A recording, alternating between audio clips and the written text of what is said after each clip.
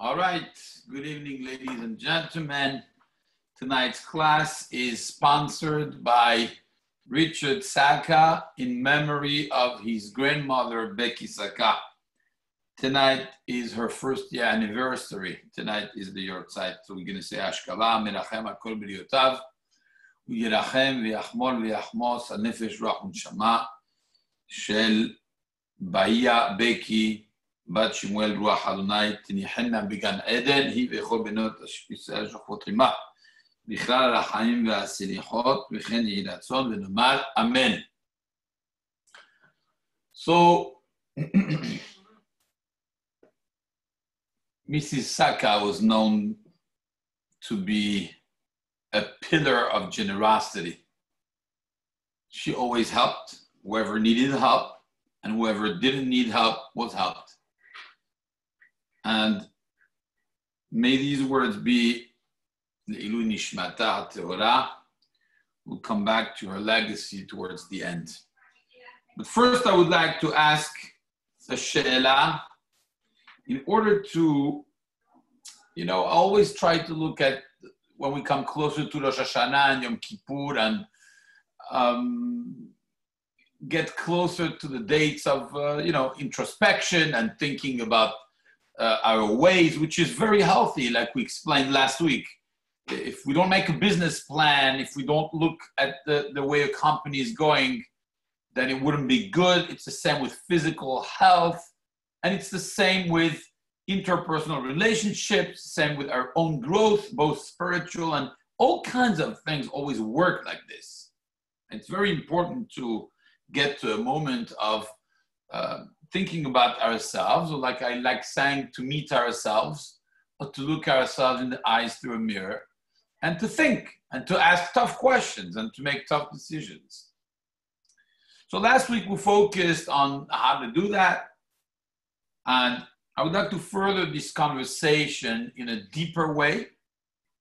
The Chidush that I read in the name of Rabbi Soloveitchik, and I would like to share it with you because it's of colossal importance, and maybe not enough emphasized.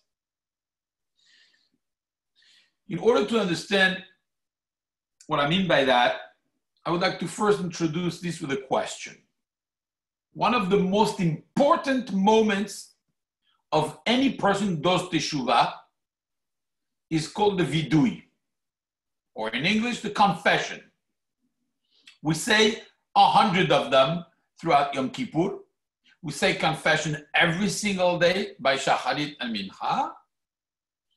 And the way a confession works, similar to all other, I would say, other religions, how it works, but not exactly the same. We keep it private to ourselves, we don't have to share it with someone like in Christianity, for example. But it's always about admitting a guilt, something that I did wrong. So we say Ashamnu, Bagadnu, Gazalnu, you know, we stole, we, we were not honest, we did this, we did that, we didn't do this, we didn't do that. And that's how you confess about the sin that you did.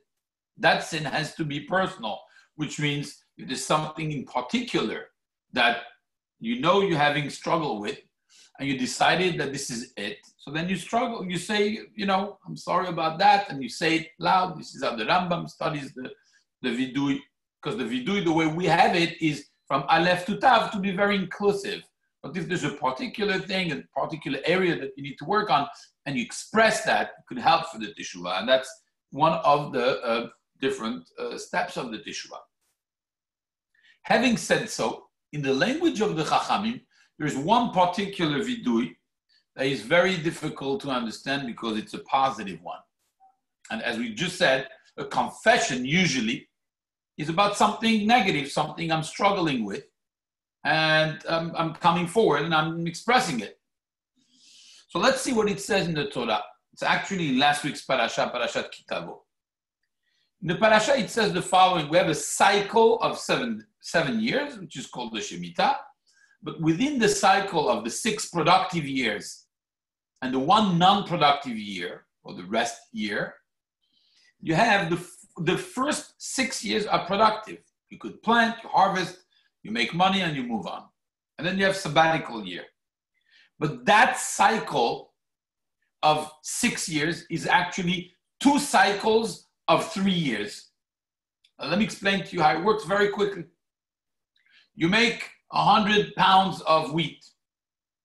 So you give 2% to the Kohen, it's called the Teruma. Then you give 10% of what's left to the Levi, that's called the Maaser Rishon. And then year one and year two, you give Maaser Sheni. Maaser Sheni is a little tricky. You separate it, you redeem it for money, you go to Jerusalem, and you spend it there. And you eat there, you invite your family and friends, you spend it all in the old city. That's year one and two. Year three, instead of taking these 10% and spending it for yourself, you give it to the ani, to the poor person. It's an extra tax. You give the 10% to the poor person. So at the end, it's very costly. It's about 20% in total. 2% plus 10% of what's left plus 10% of what's left. It, it comes out to about 20%. This is the three years. One, two, Maaser Sheni. Year three, Maaser Ani for the poor person. And then year four and five is the same as year one and two. And year six is the same as year three. Now, every three years, when you complete a three year cycle, so year one, two, three, the next Passover, the next Pesach, when you go to Jerusalem to spend the holiday in Yerushalayim, there's something very particular called Vidui Maaserot. Listen, this is the important, this is the key. Vidui Maaserot, literally translated, the confession of the Maaser. Let's stop here for a second and think. If I ask you, tell me, how would you redact that confession of the Maaser? If I would redact the confession of Maaser, I would write, you know, God, you know, thank you for the beracha you gave me. Uh, the, the, the, past three years have been very good. Thank you so much for the beracha. I may have erred here and there. Maybe I didn't give the terumah the way I was supposed to. Maybe I gave less than what I was supposed to in the maaser. Maybe I didn't give completely to the poor person. Maybe I didn't spend, maybe I didn't spend well in Jerusalem the maaser sheni. This is what a, a confession of maaser would sound like. I'm confessing that I may have messed up somewhere. But this is not the language of the Torah. I'm going to read to you the language of the Torah again in the category of confession of the tithings the maser, the vidui masrot. What is it? I quote, when you finish before God and you gave everything you were supposed to, you go to God, you go to Hashem and you say basically, I'm not going to read the whole text, but shamati bekol Hashem elokai. I listened to every word you said. I brought the maaser, I gave the teruma, I did it perfectly. Asiti kechol asher tzivitani. I did exactly what you asked me to do. And now, God, send your beracha so I could continue my good work. ask you a question. Does that sound like a vidui? Does that sound like a confession? A confession is supposed to be looking at myself and saying, in inner retrospection, and I'm thinking maybe I did wrong somewhere. But here, all you see in here is God, I have done amazing. I did everything you asked me. That's what you call a vidui. That's not a vidui. The first question really is both God and you know that you did it well. Why do you have to express it? Why do you even have to say, oh, I'm a good guy? And number two, is that a confession? That's not a confession. This is a confession. Imagine somebody, besides, it's not very, I think it's not refined to come and sing your praises. You come home and you go to your spouse and you say, I would like to make a confession to you. Sure, honey, what is the confession? You know, if, if it's the husband talking to the wife, should be like all excited. My husband has a confession to make? Woo! Bingo, never happened. And then you start the speech. Listen up. I want to confess to you today that I'm a wonderful, accomplished, flawless, magnificent, incredible, sensitive, kind, caring, handsome, and passionate husband and father. I have fulfilled all my duties. I have been loyal with you, to you, with every fiber of my being. I have dutifully always fulfilled all my responsibilities. I forgot nothing. I did everything. I did not transgress. I have been faithful and dutiful, committed and moral. I am the perfect man. What a beautiful confession. You could try it, gentlemen. You could go home. If you want, I'll dictate it to you. I'll send you the text. And you try with your wife. You say, I have a confession to make. And you say all the beautiful things that you are good with. Let's see if that works. That's not a confession. Why is the Torah calling this a confession? Ladies and gentlemen, get ready for how to do a teshuvah that works because that's the key of the teshuvah. Usually, the vidui is a concentration of wrongdoings. That's what the vidui is about. I did here wrong, and messed up there. And here the Torah, and by the genius of the Chachamim deciding to call this declaration a vidui masrot, the Torah is mechadesh something very, very big. Let me give you an example. The other day, I'm just checking if the person that it happened with is here. I think the person is not there. Okay, so I'm not going to give names, but there was a khatan, a young man who was getting engaged. Beautiful proposal. We knew we we're all part of this. And many times before they propose or before a party or something, I like to inspect them also physically. So I tell the, the I need to see what tie you're gonna wear. Okay, he shows me a tie, Rahmana de Bore Alma. It was for a funeral, that tie. I'm like, you can't wear this tie. You're getting married. You're going to propose. You need to look handsome. I said, look, I have a crispy brand new tie. I didn't wear it yet. It was a beautiful Versace tie. I said, I'm going to please wear it and then give it back to me. Ladies and gentlemen, one of the biggest mistakes you could do in life is to land a tie. You don't land a tie ever. If you want, you could give it to the person, but don't lend it. Big mistake. And I don't learn from my mistake because I constantly lend my ties. I lent him this beautiful, it was a pink and, and purple. It was something spectacular. I still have it, but I cannot use it anymore. The tie uh, got full of sweat. The tie was not good at the end of the reception. And he said, Don't worry, I'm going to send it to the cleaners. Second mistake. You never send a tie to the cleaners they'll destroy it. But he did, and they destroyed it. So I have this tie in my closet, and before I lend the tie, I think and I look at this tie and say, I know this is what you're gonna look like after I lend you, but it's a mitzvah and I'm gonna do it. So I'm that's what I keep on doing. Uh, last time I did buy a tie for the Hatan, uh, because I got tired of lending my ties, but that's uh, the way it works. Now, why am I telling you all this? Did it ever happen to you that you are in the middle of a meal and the whole cup of wine falls on you? Yes? Good.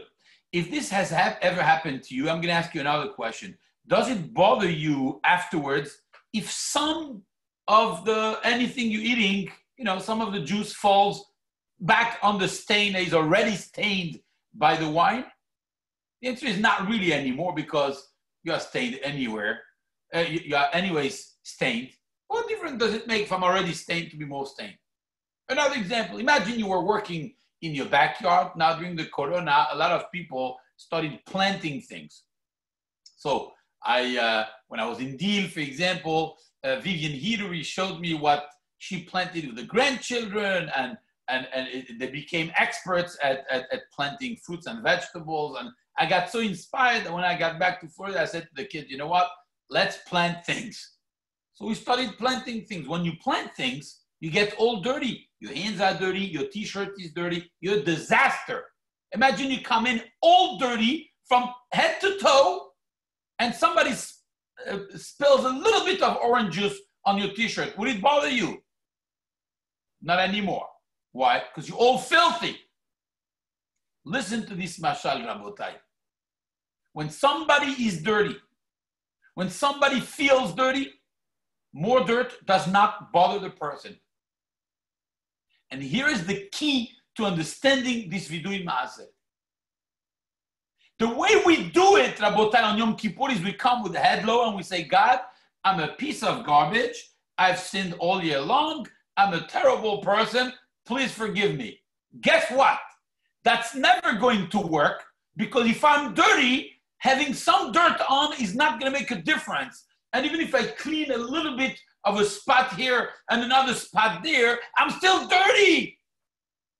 That kind of teshuvah does not work.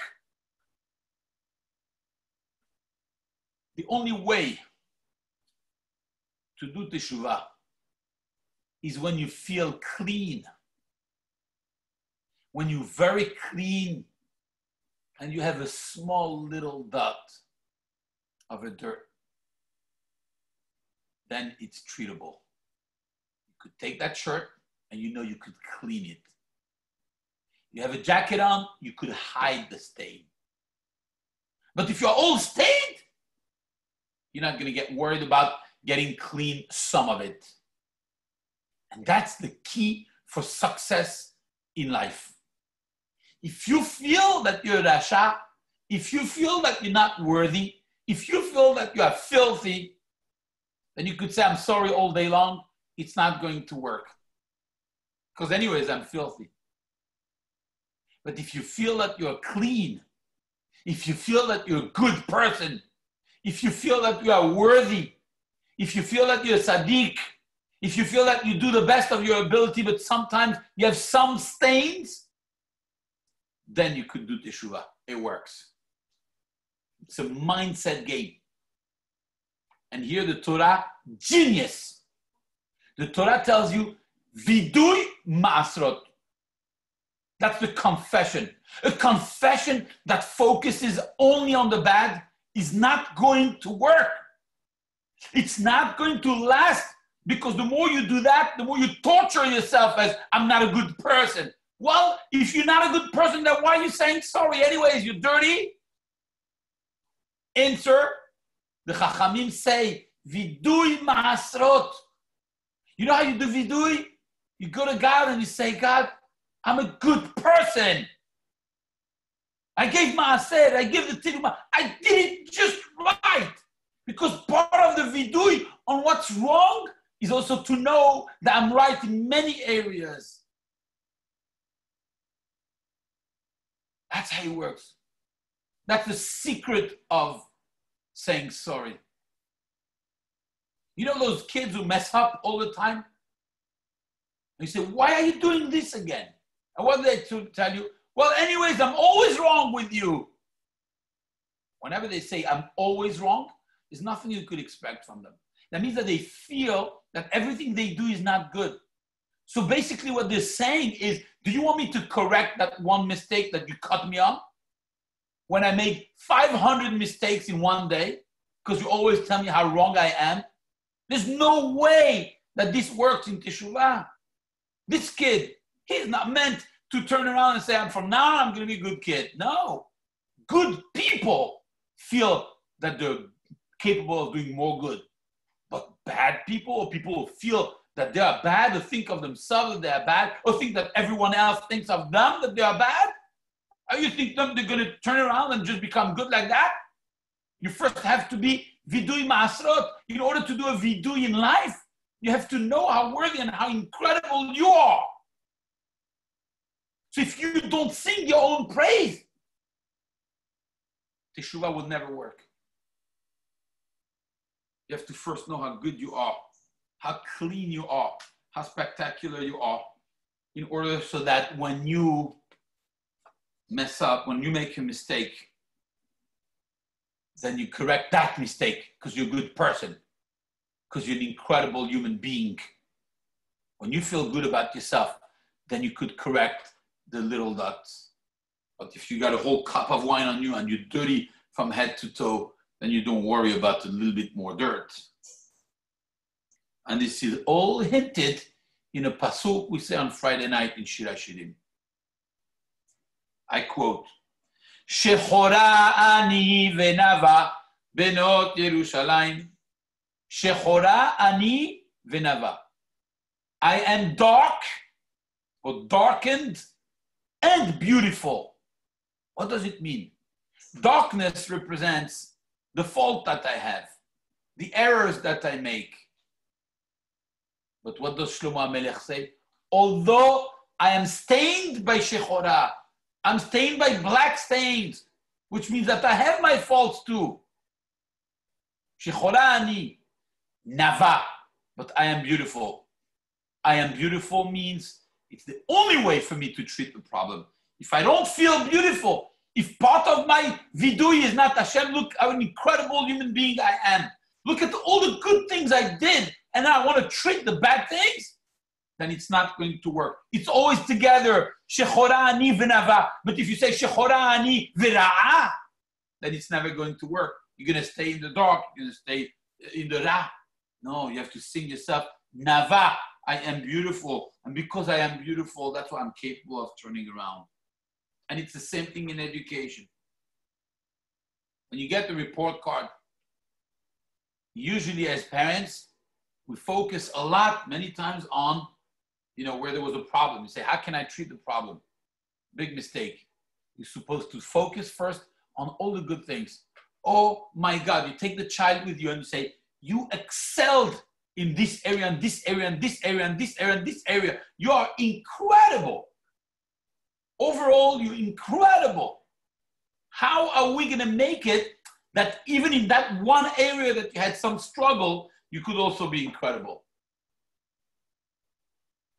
So at that point, what have you done? Vidui masrot. You have sang the praise of a person who has done good. And now you're ready for vidui. Now you're ready after knowing that you are a great person you're ready to make a change. I'm going to tell you a story that happened with the, the Baal Shem Tov. Uh, as an introduction to that story, I'm going to tell you another story. I remember I was 13 years old. I remember like yesterday. It was after Yamim Noraim, Yom Kippur, and I was then learning in a, a school in Paris it was Ashkenaz school, but the majority, I think, were Sephardic kids. And some were Ashkenaz. So we're t- talking about the difference between the Yom Kippur prayer by the Sephardim and the Ashkenazim. It's two worlds. This is very different between the Sephardim and the Ashkenazim. Anyways, the singing is very different. The text is very different.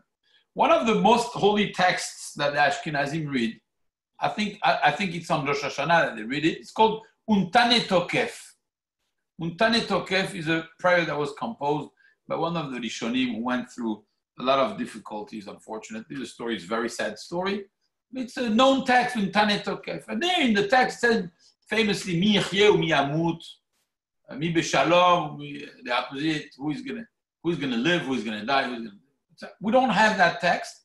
We have a different text that is similar in the, in the Chazara of Musaf, but the Ashkenazim have this one. I remember a friend of mine was, you know, not so religious, said, in my synagogue, when they get to that part, miyamut, which usually is very, very sad tune that they use. It's a serious moment. Who's going to live? Who's not going to live? That guy, Tommy, I remember till now because it shocked me to my core. Tommy, the Chazan in my minyan, he decided to make a new tune for Miyachio Miyamut. You know which tune he did? I'm going to sing it to you. Ready? Miyachio Miyamut, iya iya, oh. mi vekitzo, umilo vekitzo. Oh. i can't believe it. I mean, this is not a song that matches the Miyachio Miyamut seriousness of the moment. It shocked me to my core. I was a kid. That's the end of my introduction to the story because I don't know the rest of the story. I was shocked. I said, "This look, I was 13 and I was like, this is too serious of a moment to sing a song on a tone like this." Rabotai, about 250, 300 years ago, there was a similar story. Sorry, another introduction.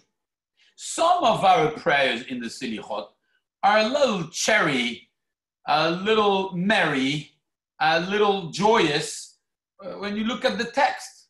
For example, חטאנו לפניך רחם עלינו, אדון הסליחות בוחן נרות. It became like a song, you know. Some players uh, have guitars and they make you read the text, it's one of the most solemn moments of the Selichot.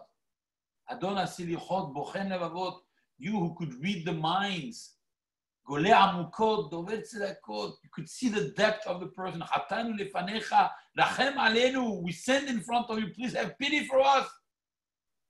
Rabotai, the tune is not the best perfect match for the seriousness of the text. Yet in all Sephardic shows, this is the joyous moment that everybody joins together and sings.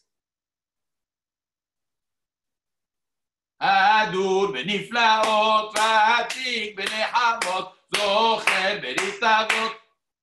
Well, if you read the text in, in English, maybe you're going to change the tone. Why are we singing this tune? So I'm going to tell you a story with the Baal Shem Tov. The Baal Shem Tov once visited a town, and they had a complaint in this town. The people of the town has the complaint that the cantor, the Hazan, was behaving strangely. They said lately on Yom Kippur, when he got to the Al Chet Shechatanu Lefanecha, Al Chet Shechatanu, Al Shechatanu, this is a kavidui. He did it in a merry melody. He did one of those uh, songs that we just did. So the Baal Shem Tov was surprised, said, Do you want me to talk to him? They said, Please talk to him. We don't understand why he's singing a joyous song in the middle of Al Chet Shechatanu. So the Baal Shem Tov questioned the Hazan. The Hazan answered the following I quote, Rebbe, a king has many servants who serve him. Some of them prepare the royal meals. Others serve the foods. Others place the royal crown on the king's head. And yet others are in charge of running the affairs of the country, etc. Each of them rejoices in his work and the privilege he has to serve and be close to the king. Now, every palace needs a janitor charged with the duty of removing the garbage and filth from the palace. The janitor looks and deals with filth all day long. He approaches it, gathers it, removes it.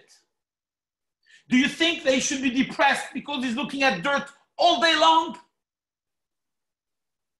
No. He's happy because he's also serving the kid, the king.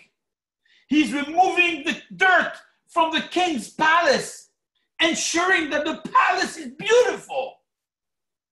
The palace wouldn't be as beautiful if he didn't remove the garbage. So he's beautifying the beautiful edifice. It is not the dirt he is focused on. It is on the king's palace and its beauty that he is occupied with.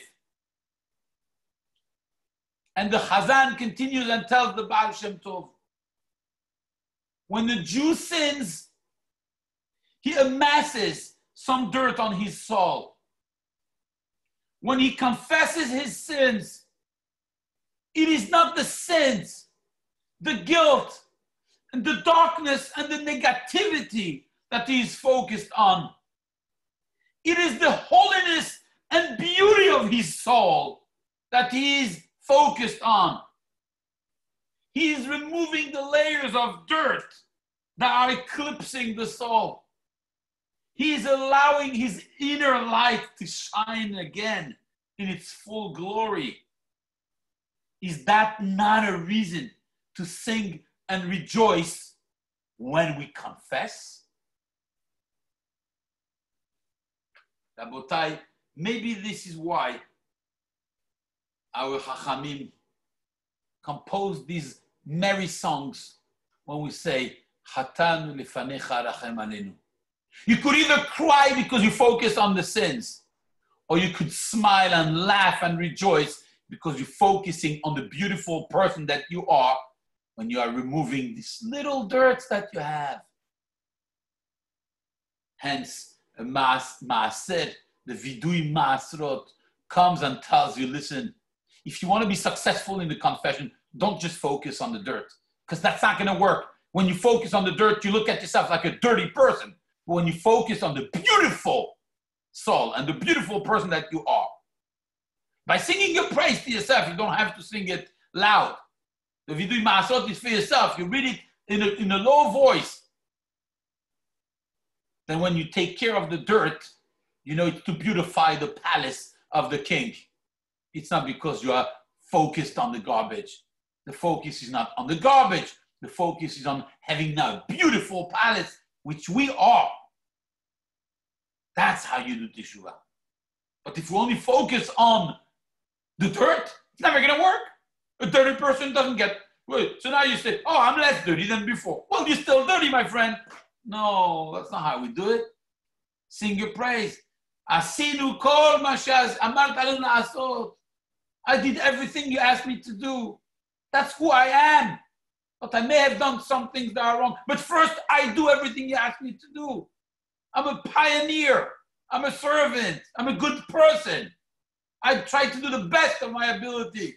And then I have some mistakes, much different than saying I'm a piece of garbage.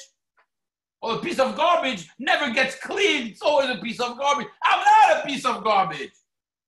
I'm a great guy.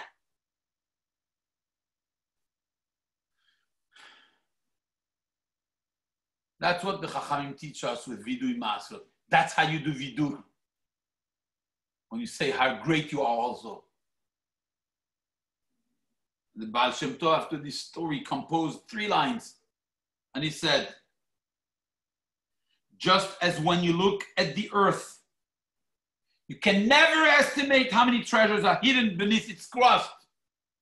Diamonds, gold, marble. How many treasures are inside the rock? Do you see it? You don't see it. It's there. So too, when you look at yourself, you can never estimate how many treasures lie beneath your crust. This is how you do teshuvah. If you do teshuvah like this, then it works.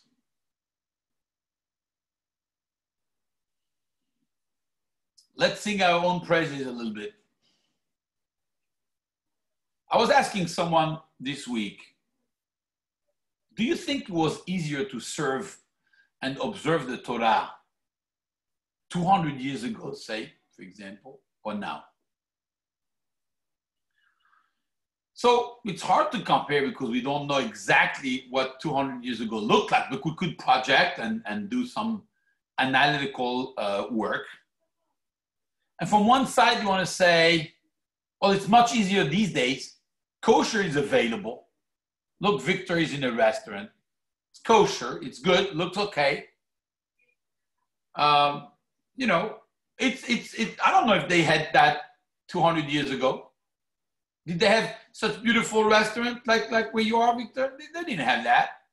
Kosher meat served to you with waiters, the whole nine yards. It's great enjoy the wine. So they didn't have that. Today you go to shul, it's a pleasure, it's beautiful. Maybe back then also, I don't know. I don't know. It's just we feel it's much easier today because everything is so accessible. Could even be on your couch like Jack watching a shiur. You know, back then you had to go in the rain to go to class. To the, ah, so hard. Now you could you press the button. Uh huh. You listen to the class from the commodity of your house. It's easier to serve God. Now you could choose to watch Netflix now instead of watching a boring rabbi from Florida. But you chose to listen to Torah. Chazak Baruch, good choice. So is it easier? It is more technically easier.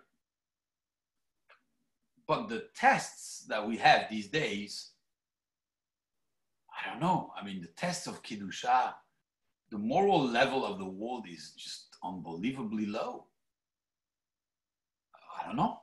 It's a good question to ask ourselves. According to the Hasidic thinkers, and the Kabbalistic thinkers, they say that the more you advance in the world, the more the tum'ah grows, the more impurity you have in the world. So I guess to work, to serve God with, with the impurity around, it, it, it is harder. It's more valuable, it's, it's much harder. I'll give you one line, I don't want to spend too much time on this. I'll give you one line. A, a big educator told me once he said to me, You have to understand, a teenager today has much more nisayon than he used to be before. That's definitely true with a smartphone, etc. And the nisayon is just so big. I don't know how they do it. Kids are having difficult time. You know, God bless them, and they go to school and they stay true to the religion. So difficult. He told me one line. Rabotai, listen up. Again, I remember it because it was years, maybe 20 years ago, but it's so powerful. I remember it forever. He said, Listen to me. What a kid at 14 years old, what a boy at 14 years old could see in one picture could have more dirt than what a man saw in last generation in 75 years. One picture, more than 75 years of a normal person. How do you deal with that? two eyes big. We have to tell them that. Before we scream at them, before we tell them you're not right here and you're not right, they derech. They keep the mitzvot. They, they go to school, they learn Gemara, some Gemara that was written 2,000 years ago. The truth, the tradition is 2,000 years old. They have nisyonot, we didn't have these nisyonot growing up. And the more we advance and the more complicated it gets and they're still in the Derech Torah. These are angels. They're not human beings. They're angels, these kids. If they know they're angels, if we tell them you tzaddik, I don't know how you do it. You put them here to the highest, when they're the highest and they have a mistake. The clean, amazing palaces that have some dirt on the floor. It's easy to clean if they feel low, if they feel like a failure, like many teenagers feel, after hearing too much how bad they are, what do you expect from them? A dirty person doesn't mind getting more dirty and doesn't worry about getting cleaned a quarter of himself. Tell them how great they are. Not only them, yourselves. Think about yourselves, how great you are. Then you take care of the problems. When things are working, you want to get better. When things are not working, you give up. Same in business. If a business is, everything is not working, sometimes you know, it's time to close. If the business is booming, just some areas that needs a little, you know, a little uh, fixing here and there, you fix it. You, you use everything you could to fix it. Same with us. If we feel like a failure, we're not going to fix it. You could say Ashamnu Bagadnu all day long, it's not going to work. No, I'm not that. I'm a great person. I try serving God. I'm a nice person. I give charity. I keep Shabbat. I keep kashrut. I'm nice to my peers. I mean, sometimes I, I, I send, uh, you know, tough messages to the rabbi, A.B. Malik. But overall, I'm a, I'm a great guy. Overall, overall. Okay. It's fine. coming from you, it's okay.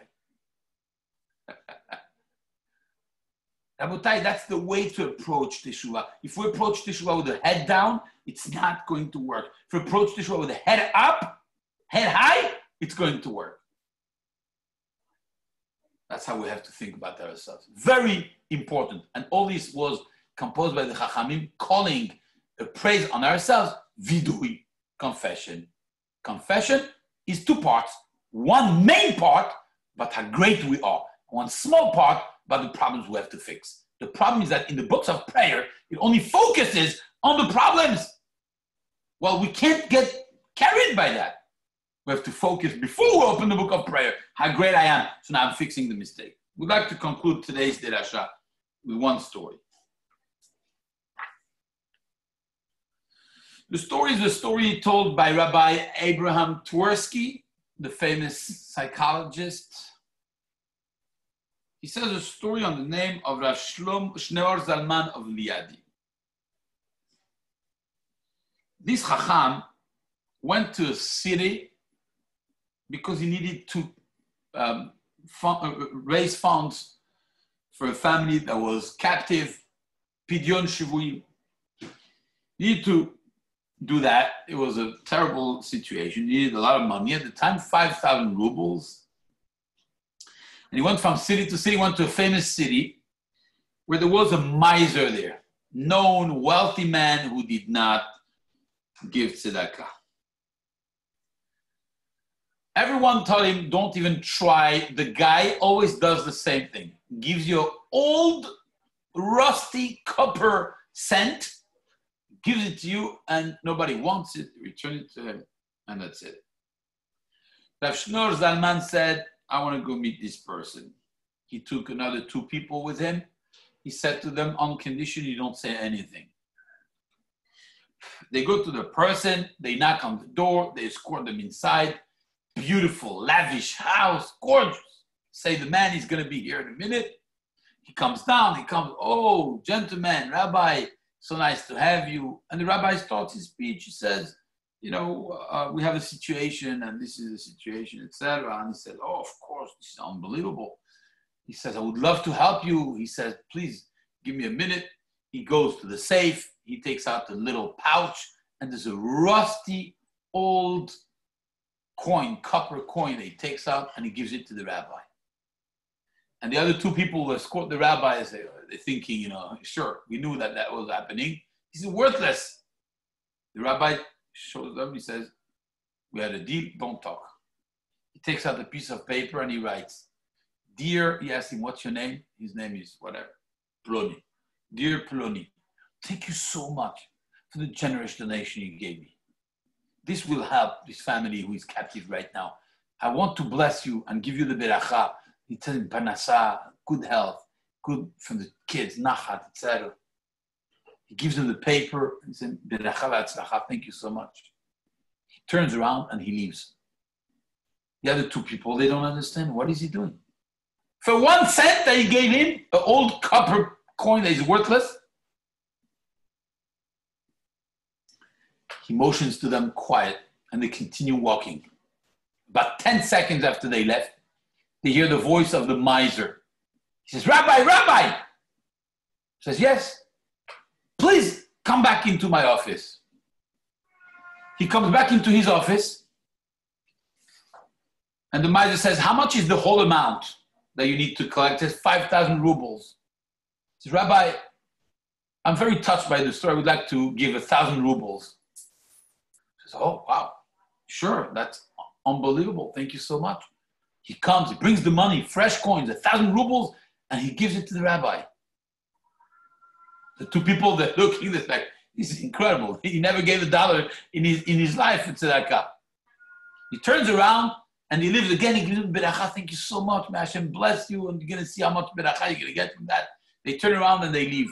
And then they hear 10 seconds later, after they left, there's somebody, somebody playing the shofar outside in my neighborhood. Can you imagine? It's the Mashiach coming. No, I don't think so. It's too late at this time. And this miser who calls him and says, uh, Rabbi, I need to talk to you. Please come back. He goes back inside the office, says, Rabbi, what's the whole amount? Says 5,000 rubles. 5,000 rubles, Rabbi, after thinking a little bit, I would like to give the whole amount. Here's the other 4,000 rubles. We got it. Go and save these people. They come out of there, and the other two people, the other two rabbis who were escorting this rabbi, said to him, How did you do that? How did you do that? The guy never gives tzedakah. How did you transform him into giving tzedakah? He says, This man was no miser. This man is no uh, stingy. No Jewish person is stingy. It doesn't exist. It comes from Abraham Avinu. He's generous. But how could he want to give if he never in his life experienced the joy of giving? Everyone to whom he gave that rusty penny threw it back in his face. That's why he never experienced the joy of giving. But once I gave him the experience of giving, he tasted it, he loved it, he connected with it, and he gave. When you talk to a person about his bad midah, you get nothing out of him. When you talk to a person about his good midah, you get everything out of him. When I say everything, every good out of him. When you focus on how bad you are, no good will come out of it. When you focus on how great you are and how clean you are, that's how you clean dirt. And that's how tzedakah works. And that's how mitzvot work. That's how everything works. And this is perfect and apropos for Ilui Neshama of this great woman, Becky Saka, who was such a matriarch of tzedakah. Everybody would go to her to get tzedakah. Once you know how good you are, once you know how great you are, you give. You feel good about it. It's going to be hard these days. A lot of people are having difficulties. When a person makes an effort, Hashem sees. Hashem is paying attention to this. He gives more beracha to the person. It goes by the effort. But not only about God, it's about ourselves. When we give, or when we do mitzvot, when we do good things, we focus on the good that we have. And when you see how good you are, you want to be better. If we focus on our dirt, doesn't work. So let's make ourselves a favor and let's restate and let's restore, sorry, the real, the real vidui, the real confession, the way it is in the Klal. Before you say how bad you are, before you say, I'm sorry, God, for all the bad doing I did, take two minutes and say how good you are. And say to God, I'm a great person. I did a lot of good this year. I was tremendously uh, connected to you spiritually through my mitzvot, through my attitude. Do that. Say it. Don't sing it. Don't take the mic. Don't say it to anybody other than yourself and God.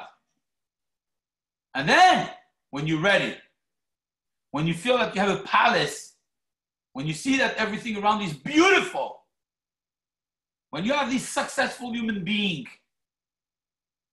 then that means that you're ready to say, I'm sorry, I also did some wrong things that I could have done better. If you did not reach that point that you feel good about yourself, then don't say tachanun. It will be destructive. It will not be constructive. Tachanun and vidui only come as a building tool, not a destructive tool. That's why the Chachamim decided to call this vidui masrot. That's a vidui. That's how you do a confession. Ladies and gentlemen, it's been a pleasure. Shabbat Shalom Mevorach to you. And please do that. Please do that. Before you do, how bad you are, please sing yourselves. Shechora ani v'nava. I may have some shachor, but I'm nava, I'm a beautiful person. Thank you, Rabbi. Thank you.